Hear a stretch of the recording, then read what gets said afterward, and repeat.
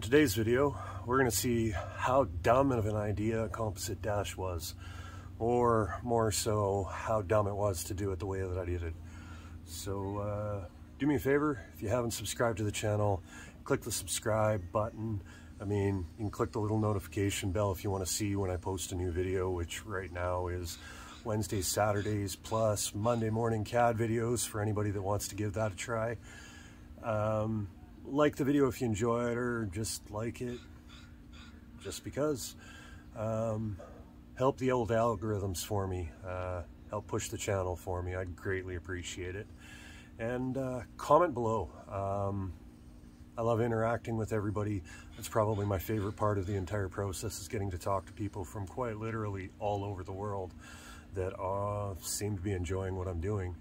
So uh, yeah, do the whole YouTube thing and let's just dive right into this. Picking away at this dashboard, see I kind of knocked some of that lower point off and rounded the lower edges, cleaned everything up. There was a few things that looked out of place, but I was still working in this at 10 o'clock at night and it was getting dark and uh, need a fresh set of eyes this morning. So now Let's get it lined up. I think that works a whole lot better and what I'm done is I've just gone in with a razor knife and marked my edge straight down and taken out a line and then I'm going in and I'm taking out pieces with my razor knife so that I can use this rasp that I would assume this is for body filler. It might be a wood rasp I don't even know. It was in a random toolbox and uh, once I get it kind of the bulk of the material knocked out I can go at it with this and then I'll go in with some uh, two inch sanding pads and kind of get everything cleaned up. I got to knock that part down there too. But uh, we want to make these grooves nice and deep so that the details don't get lost within the resin once I start applying it here.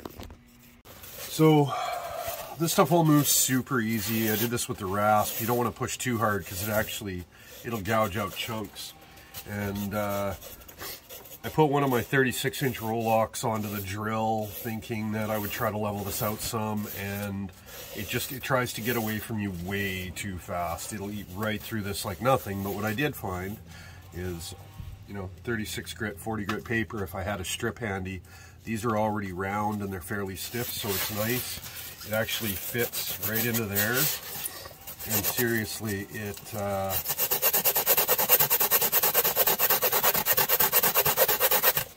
it doesn't take very long at all to knock a mountain of material out. Um, I took some big chunks out with the razor knife just to kind of get a start. I haven't decided how deep I'm going to make this yet. I'm kind of going by feel and then I'll go I'll go by feel how it looks kind of right and then I'll add a little bit more to make up for what uh, I'm going to lose in detail from the resin, everything cooling together.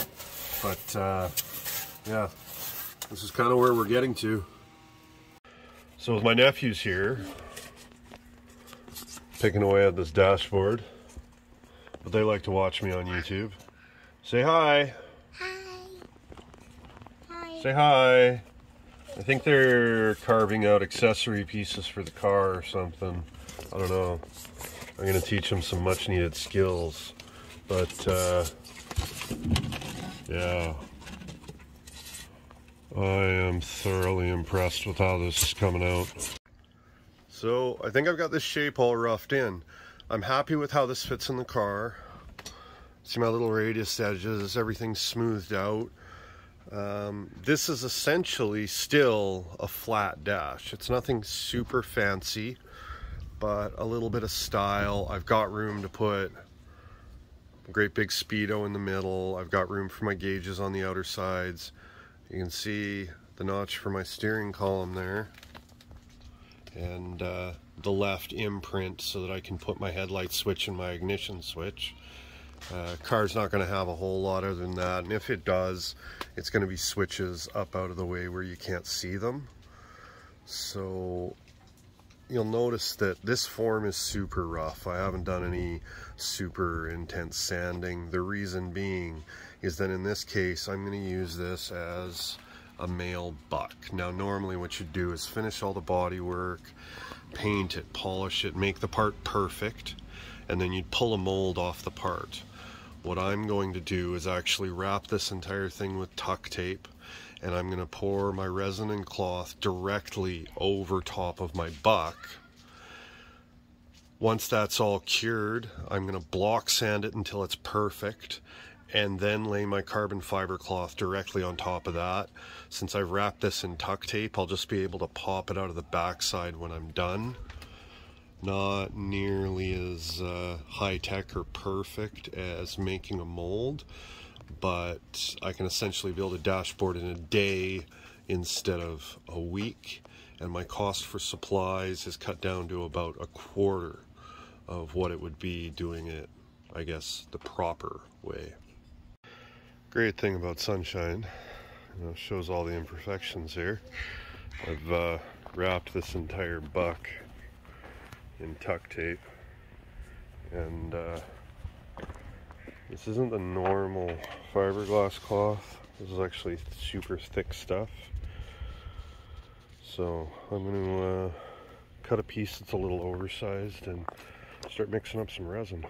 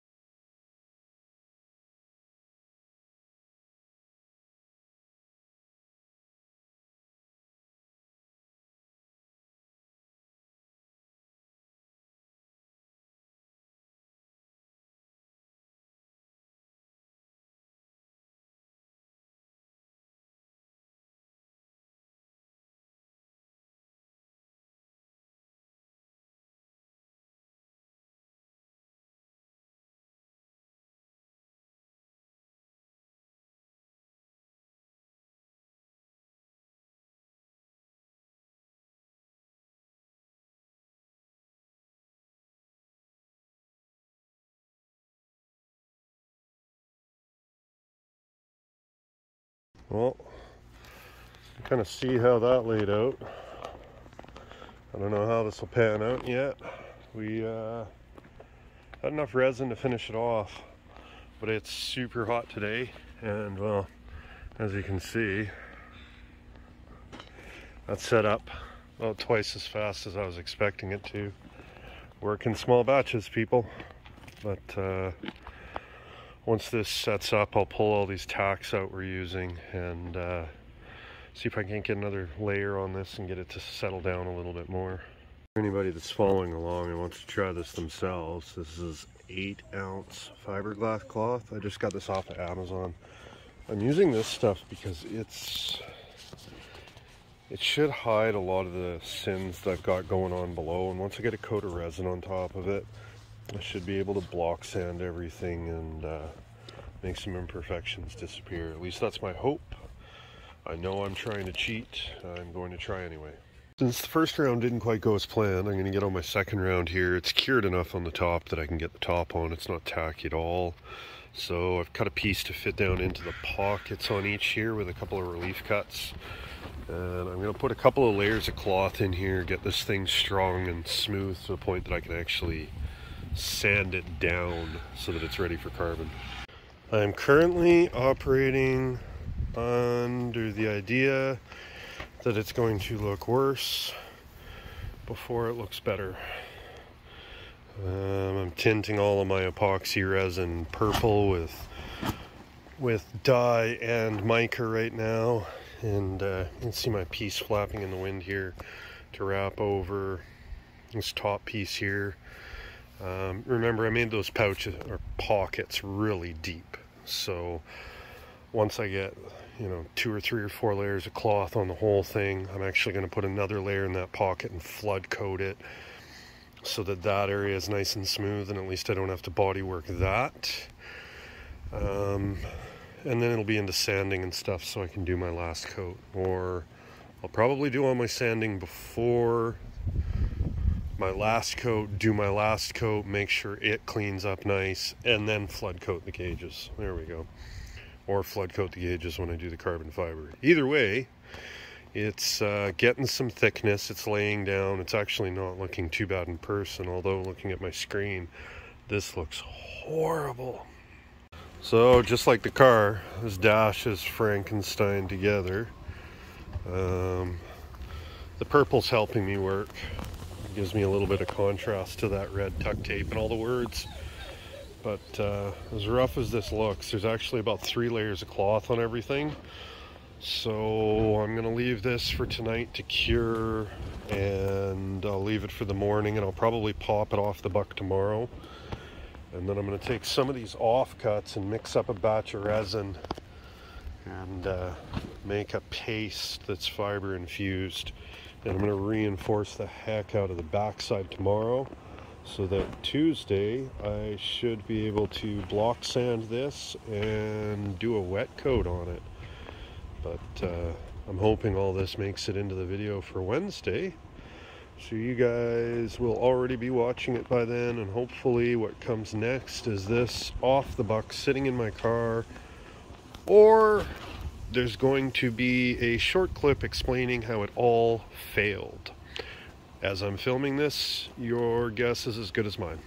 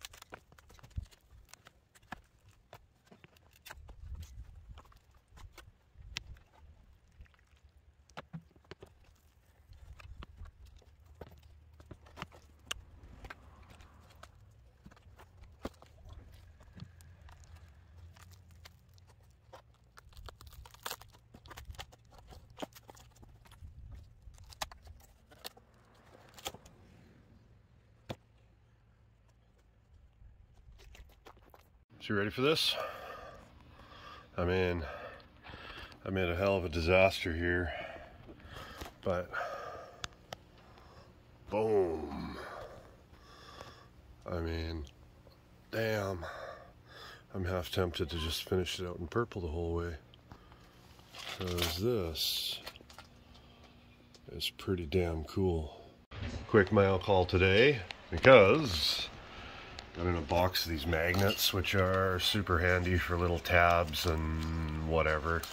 They twist, move to different angles, but the important stuff I have the upper and lower anvils for my English wheel and I'm stoked they came with pins which I wasn't didn't even think to check but now that I've got my jack screw and my anvils, I am ready to build it when I go down to the shop.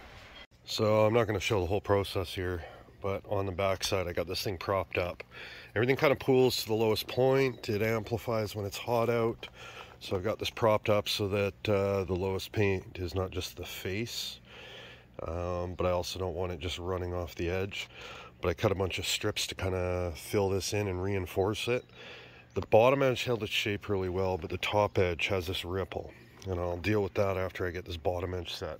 So couple hours, this should flash off. And I'll flip it over and I'll get a layer on the top side as well. More of the same, but this time on what is the top of the dash. Because of the way it was laying on the buck the first time, I only put one layer of cloth. And it was obviously uh, floppy as a um, wet noodle. So I put about three or four more layers on, um, impregnated it with resin, and then I threw the buck back in there and I've taped the duck, buck into place just to kind of give some hope of this edge staying reasonably straight. Um, I want to add a couple more coats to the outside up top as well, so I got something to sand back. But let's see, another uh, three or four hours, I can pop the tape off, see how this looks. So the second time I pulled it off the buck, it took a bit of a beating. See, it started peeling up tape everywhere, but uh, the cut line where I had to separate it all the way around. But this edge is a whole lot straighter than it was. It's hard. Um, at this point, the only reason to add resin is actually smooth out the top and uh, to be able to sand it down smooth before I coat it with carbon. So that's, uh, yeah, the process worked. There's some things I do a little bit differently, but I do have a dash. On that note, this is where I'm going to end the video today. Um, not because I'm done working on it before I got to post the video and not because it doesn't need a whole lot more work.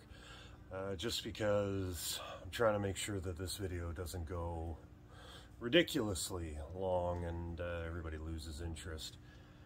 Um, I've learned a lot about the whole process that I'm playing with along the way. I got a couple of flood coats to do on the top side once I get everything sanded down. It's rigid enough now that I can actually do that. Um, but right now, this is where I'm going to cut it off today, where I can look at my dash in the cowl of my car propped up with a 2x4 and realize that I am actually very proud of what I've created here. And uh, really, that's all that matters to me. So, uh, if you enjoyed the video, give it a like. If you haven't subscribed to the channel, please do that. Um, always feels weird asking people to subscribe and give me a little bit here, but uh, I got some goals and uh, yeah, subscribe to the channel. I promise uh, there's always some cool stuff coming up and there's always me making some horribly dumb decisions. So Believe me, we're going to do some work on the Harley soon. I've got tool builds coming up. We've got CAD videos every Monday, and we've got my cars. And believe me, there's so much more than that coming. Um, so yeah, subscribe to the channel, like the video, shoot me a comment, tell me what you think. If you see something that I messed up, somebody knows a little bit more about fiberglassing than I do, which is just about anyone, um, feel free to give me some pointers. I'm uh, I'm completely learning along the way. Um, but yeah, thanks for tuning in, and I'll see you next time.